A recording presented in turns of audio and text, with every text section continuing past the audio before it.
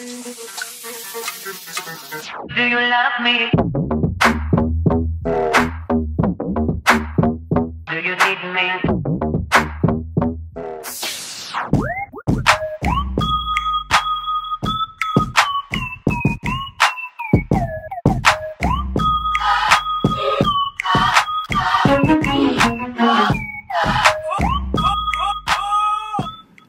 ¿Qué onda amigos? ¿Cómo están? En este video les voy a enseñar cómo hacer este maquillaje. Lo primero que hago es ponerme mis pupilentes y estos son de la óptica 2020. Aquí les voy a dejar el link de su página.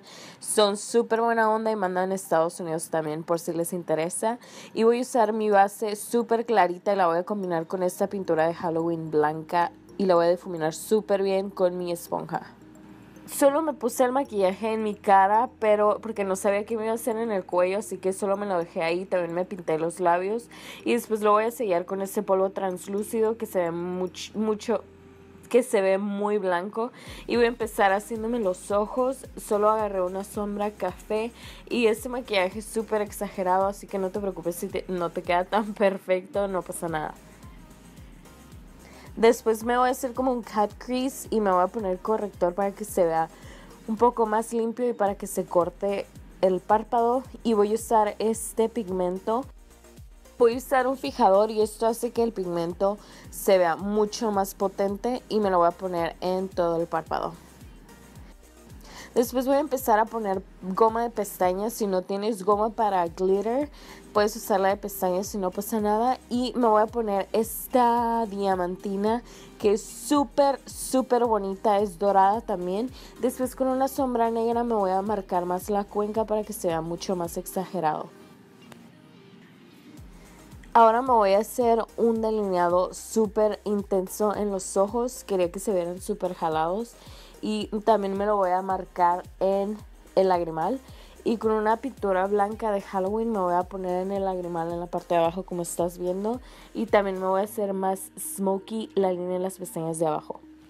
Solo me puse pestañas postizas, unas las más intensas que tenía y después me voy a marcar las como ojeras, así como ves en el video y también me voy a hacer la parte de la nariz. Solo hago como una V y después me marco más abajo en la nariz y también la voy a rellenar con mi delineador líquido negro. Para las cejas me voy a pintar súper oscuras mis cejas y después la voy a hacer como difuminar hacia arriba para que se vea como de calavera. Y también en mis pómulos, en mis cachetes me voy a marcar con esta brocha que es súper fácil de trabajar con ella porque está bien grande y como cuadrada y hace súper bien las marcas. Es de BH Cosmetics con este color café. Y voy a empezar a hacer los dientes. Eso es lo más importante del maquillaje. Y es lo que tarda un poco más. No te preocupes si no te quedan perfectos, es solo un borrador.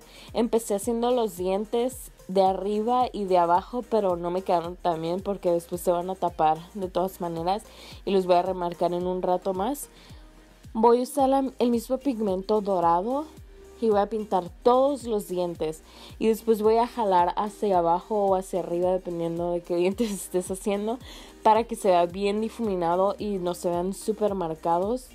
Después voy a empezar a poner glitter en todos los dientes y voy a remarcar los dientes ahora sí para que se vean súper limpios con delineador. Con una sombra negra y con una sombra café voy a empezar a hacer los detalles. Le voy a hacer sombras en la parte entre medio de cada diente para que se vean como con más dimensión y que se vean un poco más reales. Y voy a jalar hacia arriba para que no se vean cortados y se vean difuminados como puedes ver que lo estoy haciendo. Aquí en la parte de abajo nada más jalas hacia abajo. Es el mismo concepto y se ven mucho más reales tu tiempo cuando te estés haciendo este maquillaje y bueno después me acabó la, la pila de la cámara pero solo me vi una foto en Google de una calavera y más o menos hice la misma forma en los cachetes. Y nada más aquí me estoy pintando con negro y me estoy como difuminando la parte que se combina junto con los dientes para que sea mucho más real. Después con una sombra café empecé a hacer el sombreado para hacerle más detalles a la calavera y que se viera con más dimensión. Aquí te lo puedes poner todo lo que quieras. Yo en este caso no le hice demasiados detalles porque estaba cansada y mi bebé estaba pate y pate y estaba como harta. Pero aquí tú le puedes hacer lo que sea. A mí me hubiera gustado haberme pintado más mi línea del pelo porque parece que estoy calva. Pero bueno, aquí tú la puedes hacer como quieras. Este solo es una inspiración. Te puedes hacer un poco diferente. Espero que te haya gustado este video. No te olvides de darle like y sobre todo dale like y compártelo porque voy a tener muchos más videos de Halloween. Espero que te haya gustado y nos vemos muy pronto en el próximo video. Bye.